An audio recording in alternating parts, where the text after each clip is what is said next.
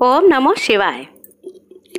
कल चार सितंबर को शनि देव का दिन है और कल प्रदोष का भी संयोग बन रहा है तो कल पूजा का विशेष संयोग है।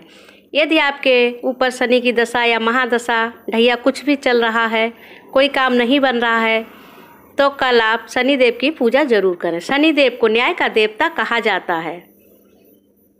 कल शनिवार के दिन पास के शनि मंदिर में जाएँ और शनि देव की पूजा करें, सरसों का तेल चढ़ाएँ, शनि चालीसा का पाठ करें, काले तिल चढ़ाएँ, फूल वगैरह चढ़ाएँ, इससे शनि देव प्रसन्न होते हैं।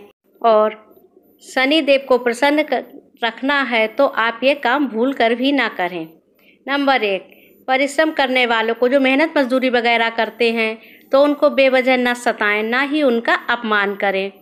और गलत कार्यों पर, यानी व्यसनों पर, मदिरा, मांस मदिरा में इस तरह पे बिल्कुल भी अपना धन खर्च ना करें।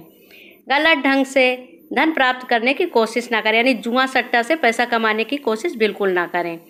धन के प्रयोग से दूसरों का अहित ना करें। यदि आपके पास पैसा है तो उसका दूसरों पर रोब ना जमाएँ, किसी प्रकार पैसे की धमक से किसी को परेशान ना करें।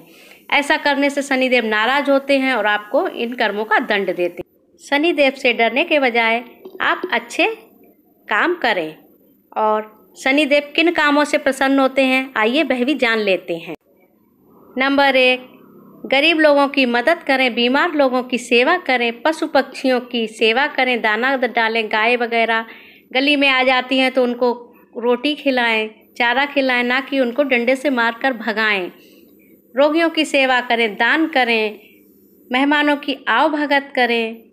पैसे को अच्छे कार्य में लगाएँ। ऐसा करने से शनिदेव प्रसन्न होते हैं और आपको माला माल कर देते हैं और आपकी हर जगह उन्नति होती है और आपके ऊपर कभी भी शनिदेव का प्रकोप नहीं होता है।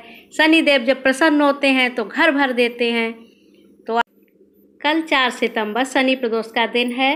तो आप लोग शनि प्रदोष का व्रत करें, पूजा करें, शनिदेव को प्रसन्न करें, भोले बाबे भी प्रसन्न होंगे और आपका घर खुशियों से भर देंगे। आपके घर धन धान से भर जाएगा।